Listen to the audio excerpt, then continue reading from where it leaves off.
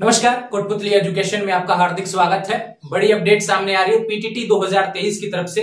यहाँ पर third list जारी कर दी गई है पीटीटी 2023 टू ईयर बीएड वालों की। ये ध्यान रखे, काफ़ी समय से आप इंतज़ार कर रहे थे क्योंकि कोई नोटिस भी नहीं आ रहा था। लगभग रक्षाबंधन के बाद में कोई नोटिस यहाँ पर देखने को नहीं मिला जीजीटी बांसवाड़ा की तरफ़ से।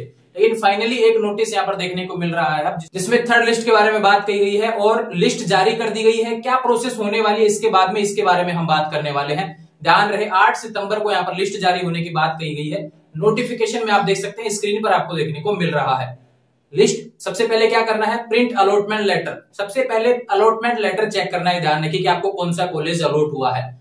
कॉलेज अलॉट जो हो जाएगा, उस पेज में ही आपको जो डॉक्यूमेंट्स दिए हुए हैं, वो सारे ऑनलाइन अपलोड करने हैं, ध्यान रखें ऑनलाइन स्कैन करवाने हैं वहाँ पर, और बाईस हज़ार रुपए का चालान आपको वहाँ पे करवाना पड़ेगा, ध्यान रखें मित्र के माध्यम से। उसकी अंतिम तिथि क्या है? चौदह सितंबर होने वाली है, यानी बाईस हज़ार रुपए फ़ीस जो जमा करवानी है, उसकी अंतिम तिथि है चौदह सितंबर। उसके बाद में कॉलेज रिपोर्टिंग की जो डेट है, वह सोलह सितंबर तक दी गई है, ध्यान रखें। पहले मित्र पर काम होगा, उसके बाद में आपको कॉलेज रिपोर्टिंग करवानी होगी। काफ़ी वीडियो बने हुए फ़र्स्ट लिस्ट और सेकंड लिस्ट के। उन वीडियोस को देख लेना, सारी डिटेल्स आपको अच्छे तरीके से समझाई हुई है। अभी क्या करना है, सबसे पहले जिसका भी नाम आया प्रिंट अलॉटमेंट लेटर कर लीजिए भैया। वहाँ पर आपको कॉलेज देखने को मिल जाएगा। उस कॉलेज में जो नाम आया है, वहाँ पर नंबर भी दिया है और आपके डॉक्यूमेंट्स भी लिखे हुए हैं कौन कौन से डॉक्यूमेंट्स चाहिए उसे भी आपको मित्र पे अपलोड करवाने हैं, उसके बाद में आपको कॉलेज जाना है रिपोर्टिंग करवाने के लिए। और सारे डॉक्यूमेंट जो भी है आपके पास में कैटेगरी सर्टिफिकेट जिसका भी जिस कैटेगरी से नाम आया है ना, उसका सर्टिफिकेट ज़रूरी है तो एडमिशन रद्द हो जाएगा ध्यान रखें। जो भी डॉक्यूमेंट्स आपके पास अवेलेबल है, जो ऑनलाइन लगाएँगे, उन्हीं की फोटोकॉपी भी आपको साथ में लेके जानी है और एक ओरिजिनल सेट भी आपको लेके जाना है। ओरिजिनल आपको रिटर्न कर दिए जाएँगे तुरंत ही चेक करने के बाद में और फोटोकॉपी खुद जमा कर लेंगे कॉलेज वाले। तो ध्यान रहे फ़ीस जमा की अंतिम तिथि चौदह सितंबर होने वाली है और यहाँ पर डॉक्यूमेंट्स वेरिफिकेशन जो कॉलेज रिपोर्टिंग होती है, उसके लिए 16 सितंबर अंतिम तिथि होने वाली है। अभी जो नोटिस आया यही है।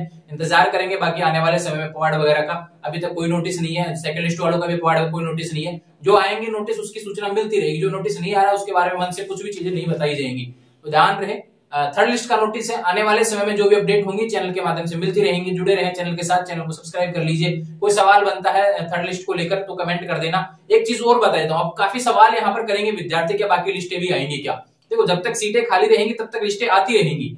अब दूसरा बात करूँ, कितने नंबर तक यहाँ पर आ गया थर्ड लिस्ट में? तो यह तो विद्यार्थी बताएगा ना कि कितने नंबर तक उसका अलॉटमेंट हो चुका है। क्योंकि इसमें कभी भी ऐसा नहीं होता कि सभी विद्यार्थियों के समान नंबर पर अलॉटमेंट हो जाए। ऐसा पॉसिबल नहीं है। किसी ने दो कॉलेज बनी है, किसी ने दो सौ कॉलेज बनी है। तो इस तरीके से अलॉटमेंट होता है तो कट ऑफ़ का अंतर देखने को मिलता है। तो जिसको भी कॉलेज अलॉट हो रहा है यहाँ पर थर्ड लिस्ट में, वो अपना कैटेगरी और अपना मतलब की अलॉटमेंट हो चुका है भैया। इतने नंबर पे, इतने नंबर थे मेरे और इतने मतलब की कॉलेज अलॉट हो चुका है। ऐसा उसको कमेंट करना है जिससे बाकी विद्यार्थियों को पता चल जाएगा कि इस कैटेगरी की यहाँ पर इतने नंबरों पे अलॉट हुआ है। तो बाकी विद्यार्थी भी उसको देख पाएँगे। तो आने वाले समय में ऐसे अपडेट्स के लिए चैनल को सब्सक्राइब करें बेलाइकन प्रेस करें। Thank you